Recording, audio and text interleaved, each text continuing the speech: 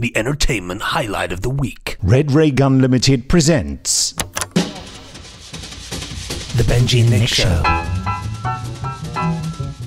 Hello, Hello. good day, Good morning. good afternoon, Good night. good evening. Good night.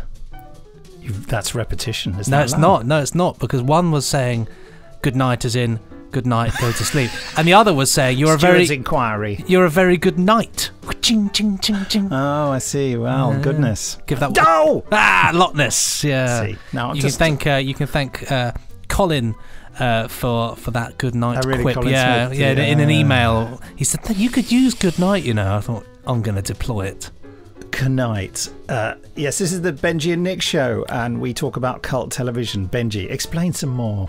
Yeah, cult TV, things from the past, things from the. I was going to say things from the future. That's not true. Things from the past. set in the future. TV that you might want to forget, TV you might remember. We answer questions people send in. We talk about the things that we love, and as well as that, we also uh, we do episode commentaries, which is what we're going to be doing today. Because this week right. we're doing a live commentary of The Sunmakers, a Tom Baker Doctor Who story from the seventies. What year is it, Nick? You'll know it better than me.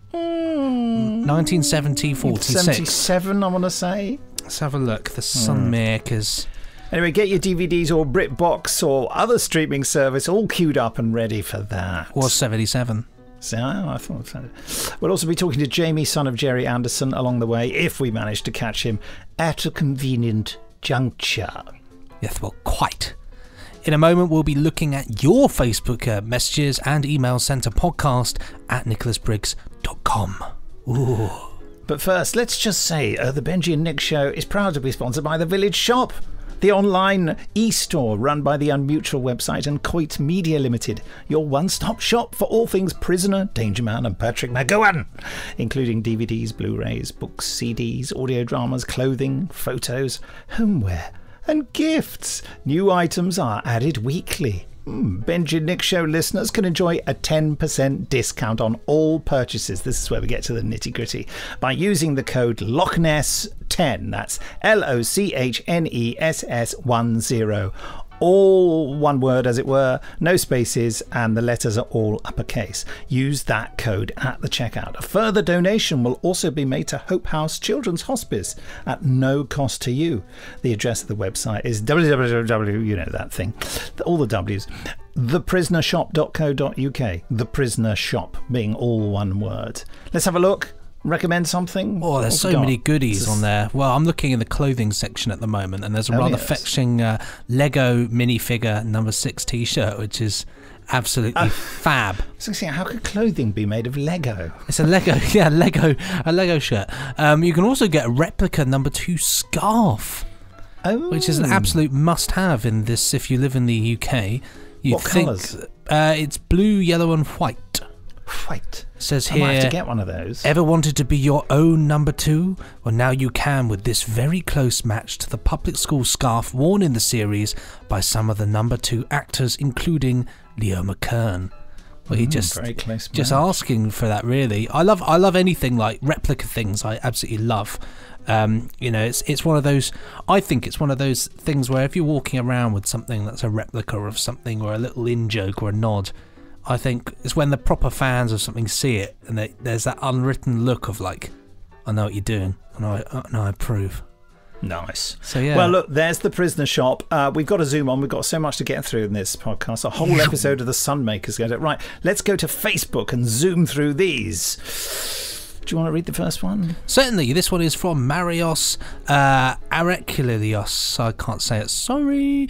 Um, Hi, Nick and Benji. Hope you're well. Uh, I'm a fan of the Dark Season story by Russell T Davies. Any chance of that coming to audio? It was great at its time.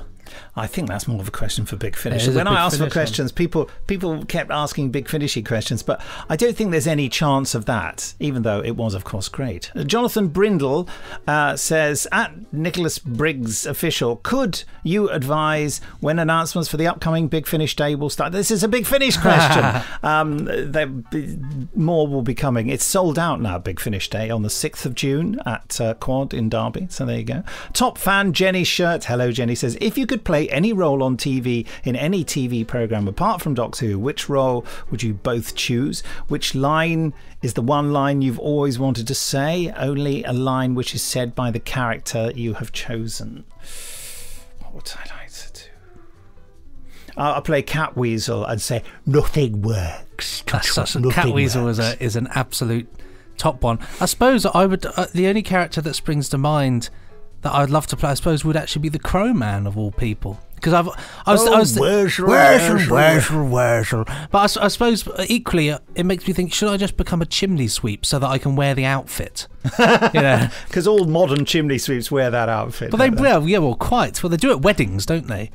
At a wedding, they have they go to, and then I could drink milk out of a saucer. You know how you just Worzel, you cannot go around causing havoc in the countryside. Okay, what's up next? Uh, Richard Tingley. Uh, I maintain that cheap pink sausages are much tastier than proper herb-filled butcher's sausages. Discuss. Well, I know there is Or- there is a sort of the cheap and nasty synthetic horrible ones. There's a sort of tang to them that you can't resist. But I do like um, herb-filled butcher's sausages as well. I like a, Sausages I are like a, generally bad for you. I like a good local sausage. I have to say. Um, There's one next to you there. There is, yes. um, I, I like a good, yeah, good local sausages are nice. I tell you the ones which are are really suspect are those sausages. Um, oh, what was the what are they called? They're they're the ones that you put in the freezer. Um, Saveloys? No. no, the brand. The brand is called. Um, Free- freezer sausages. No, oh, Frosty come, sauce. come on, Nick. You get your sausage head on. But it's a particular brand of sausages that are very, very, very, very cheap. And when you eat them, they taste Richmond sausages. And Oh, when yes, when yes, you yes. eat Richmond sausages, they're very, very nice. But every time I eat them, I always think the same thing. I think there is next to no meat in this. Why am I enjoying this? This is hideous. Sawdust. Absolutely hideous. But yeah, I mean, I, I, I'm cra- I, you know, chorizo sausages. Yes. I often just when I buy a chorizo, I'll just eat it. I'll just chop it and eat it. I won't even cook it. I'll just eat it. It's lovely. That's all you need. Dirty chorizo. My son Ben likes the, the cheap, horrible Richmond sausages, the thin ones, you know. They are nice, but and they he doesn't are eat full the of ends rubbish. of them. He leaves the ends. Best bit. Ridiculous. Love the end. Love, So I just the end of the nick them off his plate. Uh, top fan Laura Valinsky says, v- Vilensky, sorry Laura, what's the matter with me? I've always been fascinated by how similar you and Benji sound to me. Oh, really? And my friends. Oh, right. Uh, when they get to reminiscing about shows you loved as a kid. Are there any US shows you watched as kids uh, uh, that you remember fondly? My fave was The Great American Hero as a kid. Quite painful to watch now, mind you. I wonder why a bumbling superhero who lost the the user manual for the super suits the aliens gave him. that sounds brilliant. I've never seen that. I used to watch a lot of the um the Batman 1966. That for Oh, me, yes, that for me is just my child. I remember it so clearly, sitting in my old front room in, in my chair watching that, and I loved it. You're far too young. I, I watched it at the time when it was coming out and being made. Um, and also Lost in Space and Voyage to the Bottom of the Sea and Land of the Giants. All that Irwin Allen rubbish, um, which I adored as well. But it's almost unwatchable now. A lot of it, yeah. I mean, I tell you what, I was watching the other day was Gilligan's Island, which I've not seen in a million I've years. never ever seen it. It's- I've yeah. only heard the jokes. it's pretty it's pretty rubbish i'll be i'll be honest but you know I, I, I was one of the first people, certainly at my school, to get Sky, and so we had access to a lot of these American shows that wouldn't normally get shown around. But yeah, I mean, my in ter- when it comes to that, it's Batman because that was always on around lunchtime. I think when I was growing up. Okay. So short of time. Um, uh, just quick answers to these. From Rick Davey. Hey, hey, what's your favourite, absolute favourite regional TV ident of the 1970s? It, uh, is my question to you and Benji. Mine is Anglia. Rick, what do you think? Oh come on! between that between that HTV. HTV and Southern Television are my two. Southern because it's my local, HTV because it's the best. Uh, yeah, brilliant. Although I have been watching stuff with the ATV. Down, down, down, boom, boom, boom. Ah. Boom, boom, boom. Bah, bah, bah. Anyway, Jason, we could actually fill, fill Oh, a and whole well, hold on, and Yorkshire. Dun, dun, dun, dun, dun. Sorry, Yeah, very on. unimaginative. No, no animation. I don't like that. Zero points for that. Uh, Jason Arbuckle said, if there was any TV show or movie you could adapt for Big Finish. I'm not answering Big Finish question. Philip Markham says, uh, loved last week's podcast as it helped me whilst sick off work with the good old lurgy. Although it made me watch loads of season four of The Avengers to help me feel better. That's when we were talking about the Man Eater of Surrey Green. My question says, will the Benji and Nick episode covering Callan either the TV series or the movie? Absolutely think? should do that, and we should do the We'll TV that. series, definitely. Mark Bosley says, I love 70s Doctor Who as much as the next man, but can we share the commentary love around other Doctors? How about The Rescue or Tomb of the Cybermen, for instance? Well, I'm not opposed to it. I would love to watch Tomb of the Cybermen. It's one of my favourite stories. Absolutely up there, top of the top of the list for me. I just feel that I might be a bit more cruel about the old ones because they do get, I mean, I love them, don't get me wrong, but they do get a bit ridiculous and old fashioned. It's fine. We'll, we'll watch Delta and the Bannermen then. Oh God! Um, right, top fan Alex Pass says the Cyber Briggs is in his cyber shed. Revenge Cyber Voice. It is a bit chilly. Thank you, Alex. Tom Nichols says, "What is the most Doctor-esque moment you have ever witnessed from an actor who played the Doctor when they weren't in character?" What do you think? Oh, I don't know. To be honest, it's just it's just Sylvester McCoy with his stick, isn't it? Just Yes. it's just it's just that, isn't it? And, and occasionally holding an umbrella. He's just the Doctor. Uh, That's why I was going to say. That Sylvester and Tom are the two who are most like the Doctor in real life. They are. You you think if there was a real Doctor Who, that it's probably one of those two. Absolutely, one hundred percent. Um, Jessica Schlosky says, "Hello, Jessica. I'll admit I have a bit to catch up on, so if this has already been Come discussed, just ignore it." This is a good question, actually. The Benji and Nick show is all about cult media, but how do you personally define what makes something cult? Is it based on a personal sense of nostalgia, the age of the media in question? Is it based on some quality of the fan base or restricted to certain genres? I was wondering what your take on this was. It's a really tough one, is it? I define cult. Says cult as, as in old things, television that was popular at its time and and has a reputation to this day. But then, having said that, we cover things that were are, are old and people haven't even heard of. So, so it is a tough one. I, see, I think it comes into the same bracket as what is canon in Doctor Who. It's whatever you like. That's very true. Very Whatever true. we say. we say it, so it is. Listen, we're running out of time. L- Luke Pietnik says, Isn't it time Ka-chunk was accepted into the Oxford English Dictionary? Which is what I say at the end. Pressing stop now, Ka-chunk. Its definition should be to cease recording an archaic, on an archaic media device. Ah, you calling us an archaic media device? Correct. And when are we getting the three part Benji and Nick Chalet Girl analysis we were promised? Gosh, what, watch Three this. parts. Watch this space. Is all I'm saying. Have you ever seen it? I've not Shall seen it. I've avoided it at all costs. Maybe Well, I don't will. Forget, I, th- I think it was Luke who said that it's nowhere near as bad as you expect it to be. We'll watch it one day. One day. Look, there are a few more comments and there's an email, but I just think I'll have to save them for next time. So um, we'll move on to the commentary. I think. we're, we're, we're up against it time wise today. Ma- massive apologies to everybody. But Uh, so life schedules Life. and all that. life. I'm finding BritBox, Doctor Who, Tom Baker, season. Um, is that 15? Is it? Yes, it is. Season of Goodwill. So what do you do? You press the story and it just starts, doesn't it? It does, yeah. Bing. Are you, are you there yet? Do a three, two, one, and we'll. Three, two, one, click. Here we are, the ever familiar title sequence there in all its glory. Marvelous.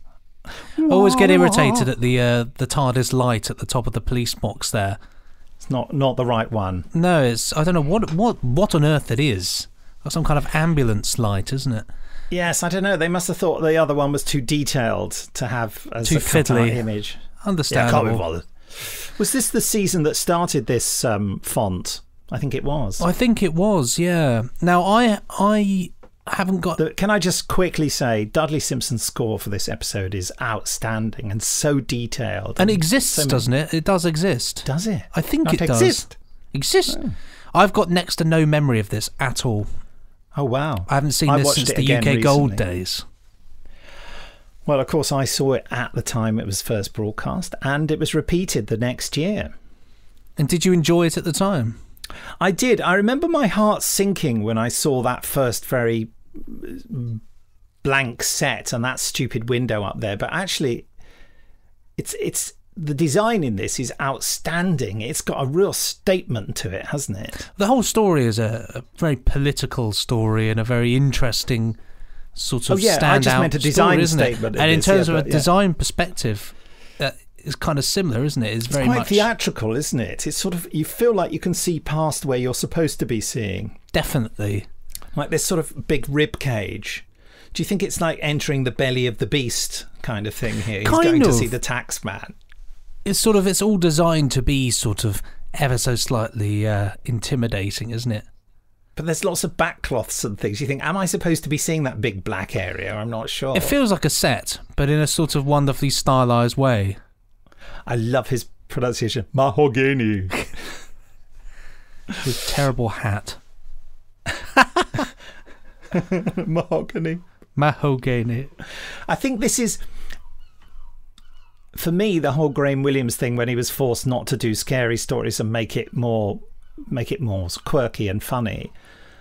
I am a bit of that old-fashioned opinion that that sort of spoilt it, but I think it's a perfect balance here because this is actually, although it's all sort of ho ho ho, little go at the tax man, it's actually horrible. It's cruel. thought-provoking, cruel, thought-provoking television, isn't it? Really, and it's Doctor Who at a level where children can watch it and be entertained by the story, Yeah. and people of a more inquiring mind can watch it and think, "I know what's going on here," which I think is always the best when Doctor Who does get that balance. And it has to be said that this, the structure of the plot in this episode in particular, is it's a masterclass in Doctor Who. This is how to structure your opening episode. It is just super. Yeah. Your father's own personal contribution. Nice cap. These two are fantastic actors, aren't they? They are, and they do a very. They're they're sort of. You can see that they're they're enjoying it, and you know one's playing very conceited, the other is. and You can see the fear on his face. I mean, that's the interesting thing for me because I listened to the audio of this so much at the time. This is like music to me. I can hear all the all the voices, the tune of the voices. I recognise the tune. Oh, Citizen Corporal. Oh, you know all this. Uh, but you coming at it afresh from age- I mean, what's your opinion of it? I mean, do you think it's hammy and ridiculous? I don't, but then I'm the wrong person to ask, can't I? Because I enjoy all this stuff. You know, this story reminds me of of coming down in the morning when it was on UK Gold, and I'd watch my watch my tapes of it. I had, God Yeah. knows if I've still got them, but I think it's. I think as as a Tom Baker story is it's fantastic. You know, I, I love this season in general. I think it's a great season. Take your capsule. But the contrast in costumes as well. This sort of, you know, on the one hand you've got See the seriousness here. Sorry to interrupt. And he is telling him to go without sleep to pay for his father's funeral, which has already happened. He's it's horrible. it's cruel, It is isn't it? horrible. Who, who is the guy who plays the gatherer, by the way? Oh, I can find out for you. I'd like to venture a controversial opinion that I think that you know Louise Jameson has spoken about how things between her and Tom Baker at the time here were a bit frosty, and I you sort of Tom's quite aggressive in this, isn't he? And I I know what he's like when he gets like this, and everything's a little bit too harsh. I feel there seems, you know, like he An didn't like the character. Yeah, he, he didn't like the character of Leela. And even though he does all sorts of nice, affectionate things towards her in the story, he's a good actor. And I just feel that there's Yeah, shut up, he said to her, and as a yeah. That's shut up. I mean, oh, it's it's horrid. This also puts the lie to um, John Leeson's assertion that there was no effect on K9's voice. There's blatantly quite a huge that's, effect. that's going through a K9. speaker.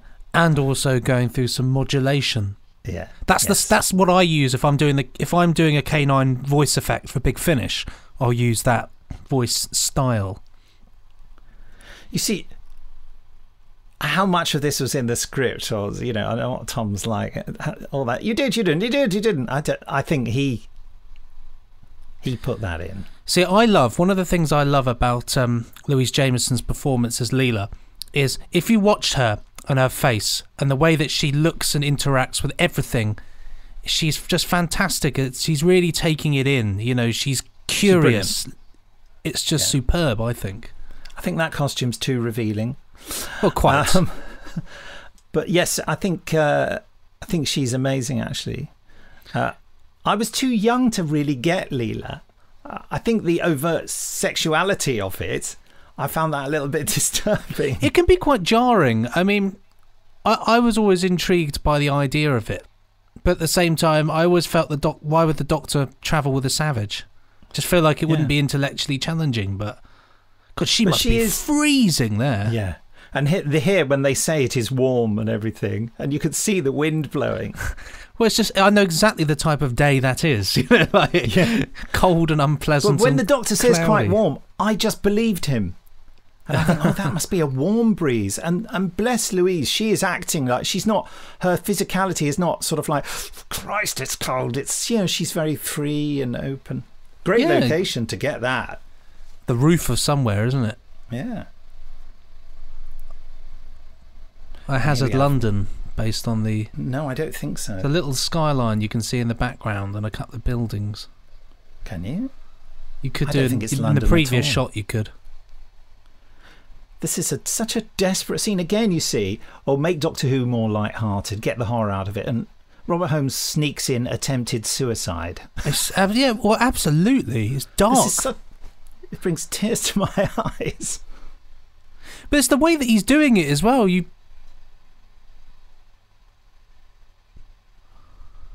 This was in the trailer. This bit, I remember. got Tom's amazing costume there.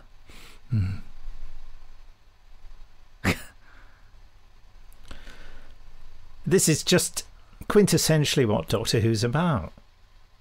It's helping out, stopping someone from destroying their life. It's brilliant. in a way that's not invasive. You know, he's he's Mm. being the doctor. He's off. He's offering a man a jelly baby who's about to jump off a building. I mean, And look, look what the jelly baby is. Have you seen? is it licorice? Yeah, it's a licorice all sorts. I remember being really upset about that as a pedantic teenager. It's, not a jelly baby, but of course, Tom did that on purpose. Just to provoke Yeah. a reaction. Oh, I always this- love things in uh, in programs where they have imaginary games. I don't quite understand. This is Is just he him just deciding counting which, money or? No, he's just deciding which sweet to eat. you watch. He picks it up and eats it. Look. it's look. it's brilliant, isn't it? Man, strange. I like the idea that name. that silhouetted man in the window up top is just Dudley Simpson waiting to do his cue. Are you loving the music? Love it. Oh, how can you not? It's, it's particularly good. It's quintess. I love his trainers. He's just wearing some some standard old trainers there. Uh, yeah, that company branding on them. I think. I believe it. It's warm shift. there. It's ridiculous, isn't it? It must be freezing. It looks so cold. Security camera up there in the corner, wonderfully seventies. Well, of course, that's Science uh, fiction design, isn't it? that, that features later. There's an important sequence in one of the later episodes where they set up a loop where it looks like the Doctor's just pacing backwards and forwards when actually they're they're doing something else. You know. it's crazy. It's very rare that I have next to no memory of a Doctor Who. It's interesting because this is this is printed on my brain. Every noise of it. it's the Gatherer. Wouldn't it be funny if I stood here and didn't uh, didn't realise and then ran? Yes, I think I'll do that.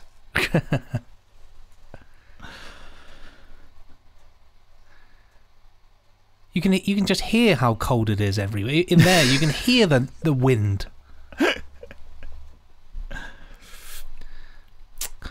What's the name of the actor playing the Gatherer? Richard Leech.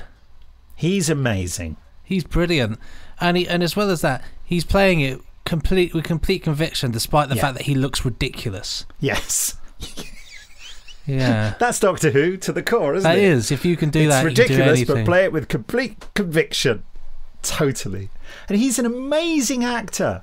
I think this is his best ever performance. I've seen him in loads of things, but I don't think he had as much fun as this in anything else he ever did. It's superb. It is great. It's a fun story, isn't it? And it's an you know.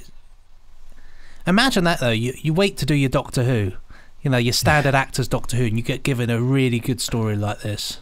Yeah. Quite incredible.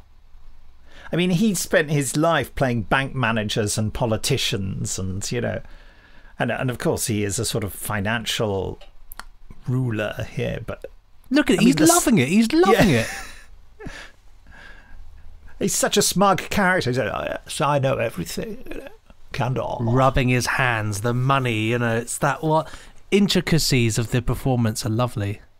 And the typical thing of uh, Robert Holmes writing, mentioning other things that happen outside the story, the Candor conspiracy, we never find out about it. He just throws that in, you know. It's about world building, isn't it? It's you, be- Yes. you believe things like that because you just assume that oh that's the thing that's happened, that's going on in that world, isn't it?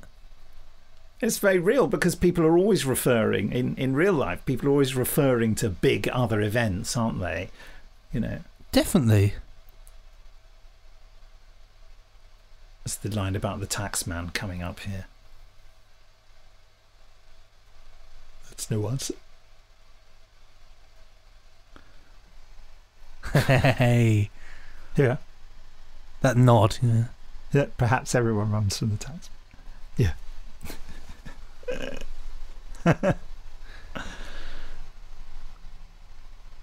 That's just He so just looks like a bloke with a sort of beach towel on his back, doesn't he? yeah, uh, just just gonna go down to the go down to the pool. Let's go for a swim, man. Right, and he's just got a very big head, and that's actually a swimming cap. Now that would be a brilliant comedy moment, wouldn't it? If he took his head off and it was that, shape. What are you Oh, looking at no. me like that for, man? I think he could be another of our podcast characters, the Gatherer. Yes, Yes. What was that pronunciation you had? Mahogany. Ma- mahogany.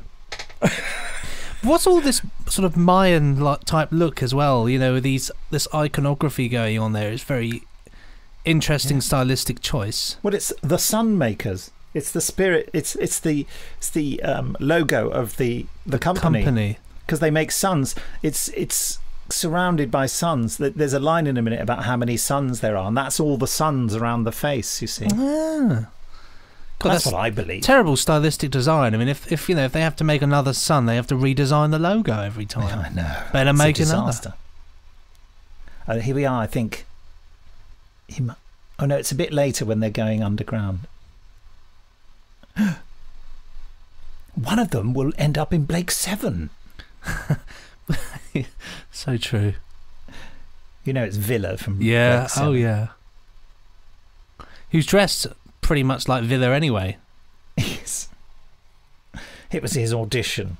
Wouldn't it be interesting this story though if, if everybody was wearing suits and it was done in that you know it'd be a completely different story, wouldn't it? It would. It would. I mean, the message would not be as subtle, I suppose. No. Yes, they've really dressed it up with sci-fi nonsense window dressing, haven't they?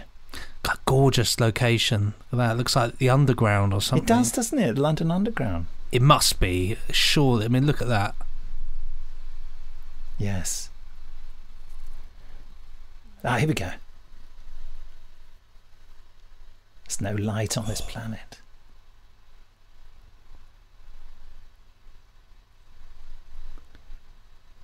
Yes. How many suns?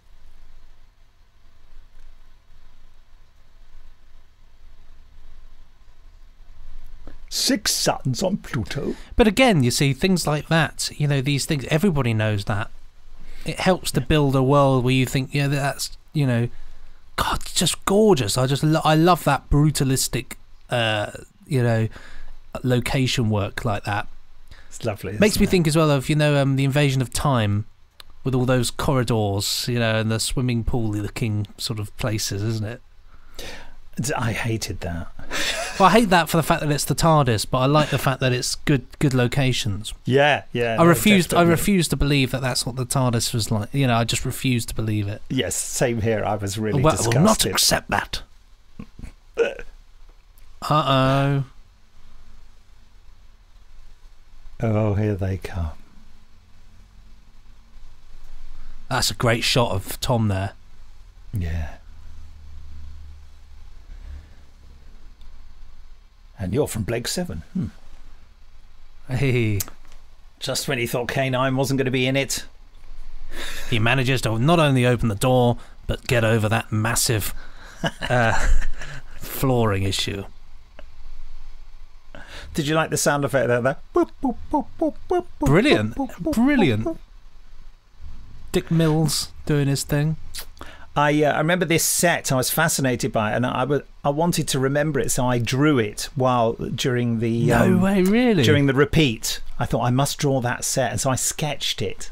Yeah, it's crazy the innocence there of never I thinking thought- you'll I- never see it again. exactly. And here I am watching it whenever I want Whenever you like, yeah. with my mate Benji. Nasty gets hit, uncalled for. You could see this on the stage, though.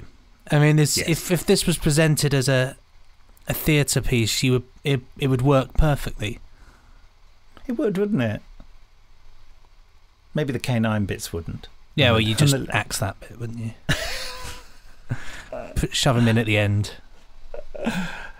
And Ajax. They always go on about Ajax, don't they? They do. Of course, Ajax was a famous um, sink cleaner at the time. That bloke in the middle there, doesn't he look just like um, Oliver Reed?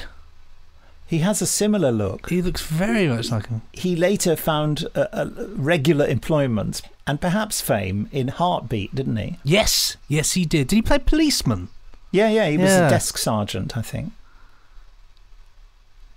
Before Derek Fowlds became the desk sergeant, I think. I don't know. He also was in an awful lot of things at the time. I remember he played a barrister in Crown Court and Good gig. one of those actors. I mean, he's an excellent actor. Absolutely brilliant, reliable performance. Stuff to come. I think, to be honest, in this, from what I've seen so far, everybody is really doing a good job. You know, nobody's letting this down. Well, even the collector, who is uh, r- ridiculously. Over the top performance. Well, qu- but it works. It does work. It Everything works, doesn't it? I remember not liking that aspect much at the time. And then I realised I could impersonate it, so I quite liked it. God, the fear on his face is just fab. He's really like I just, I you know, what fantastic acting there. He- He really does look completely petrified.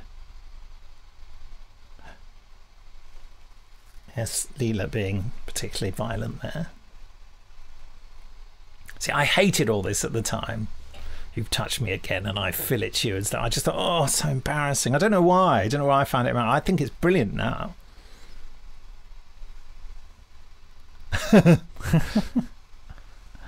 well, Go on, K9. There you go. I love all that stuff when the doctor. There's a sort of genteel aspect to the doctor, and when he's presented with oiks, he's a bit sort of, yeah, well, uh, oh, fine, yeah, it's nice here. It's he, he yeah that he does that sort of meandering approach with them, doesn't he? Oh well, you know, it's ah, nice here. yes. Yeah, They've how- made that screen look quite interesting by doing that sort of weird cutout around it, haven't they? that God, that just sounds like K9 just sounds ready to collapse, doesn't he? Just uh, looking back at the previous scene in the uh, gatherer's office, that's a huge cash point card, isn't it? Um, the the uh, we don't still don't know what those blokes standing around in the background are doing. yeah, it's not it's not particularly explained, is it? How, how sort of- many Talmars do they get paid for standing there randomly? Well, why not? You know, it's a good gig, isn't it? Can't imagine lugging that one around with you all the time. So this must be. There were credit cards Yeah, credit cards were around in the I don't know. seventies. Were there were there cash point cards at this point? Good point. Um, It's funny that they thought it should be so big a consume card, whatever that is. I'd love it if cards were like. Uh, uh, it'd be inconvenient, but I love the idea if they were like cartridges. Eight tracks. Yeah, I love an eight track. There'd actually there's enough room to put about a hundred pounds worth of notes in that. Absolute madness, isn't it? Absolute madness. Well, you wouldn't, but if they were like that, you wouldn't bother, would you? No. First cash machine was installed in 1967 Oh, outside right. Barclays Bank in Enfield, North London. Wow. When was the second one installed? in 1979. The 457th was installed in 2002. I I didn't use a cash point machine until 1979, Wow! and I had I had never seen one before that. I bet you felt like well, you felt like you were in this story when you did. Ask me how much money I took out. How much money did you take out? Ten pounds. That's quite a lot in those days. Well, it was yeah, you know. What were you buying? A, a television? Well, I was I was a student and I was buying food To live? Maybe a maybe enough drinks for the week. Well, quite. Yeah, I thought quite. Well, it was 49p a pint. God. What these red barrel? if only. I, what I don't get in that location Mild. with um courage. Mild. What I don't get in that location with K9 is that weird pile of what look like pancakes. Oh yeah. Praise the company's pancakes. See, look, there they are. Yeah. Put the tracker on the jack. They're big pancakes, aren't they? They are. Those are my pancakes. That lovely noise with the, when the screen goes off. Yes.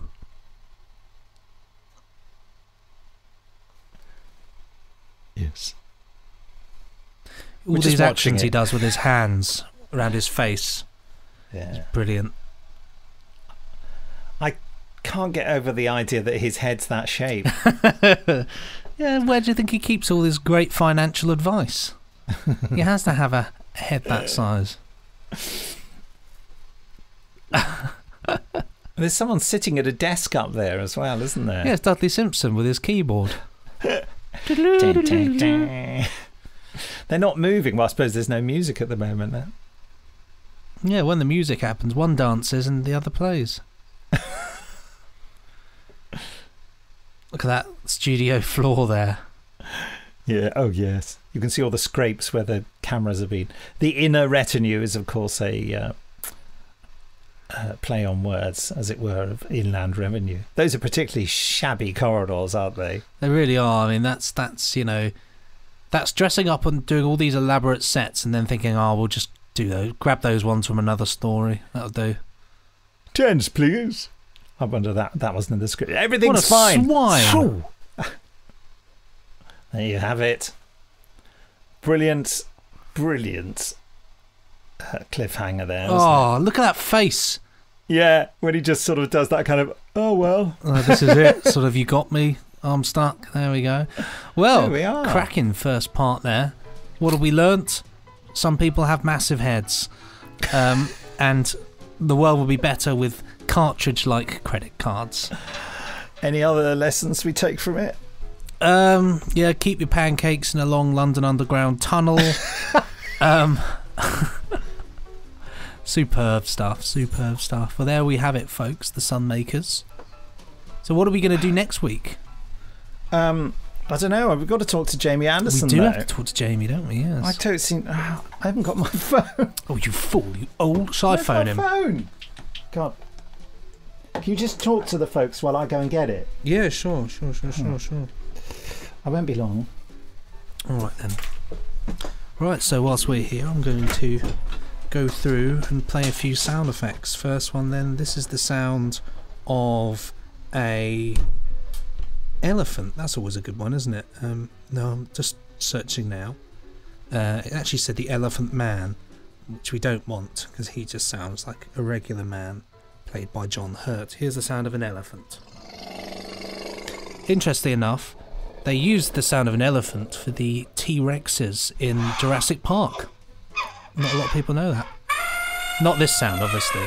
No T Rex sounds like that. I mean, that would just be absurd, Right, wouldn't back, it? I'm oh, he's back. There we go. He'll never know. Yeah, it's gone into episode two. Well, you shouldn't have left it on, should you? You fool, you old fool. I left it on the uh, coffee table where I was having my sandwich for lunch.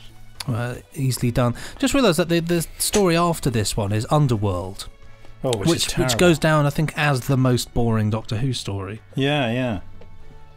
The dread, the CSO in that one was dreadful, wasn't it? Well, it was just all CSO, wasn't it? Shall I Yeah. phone Jamie? I think you should.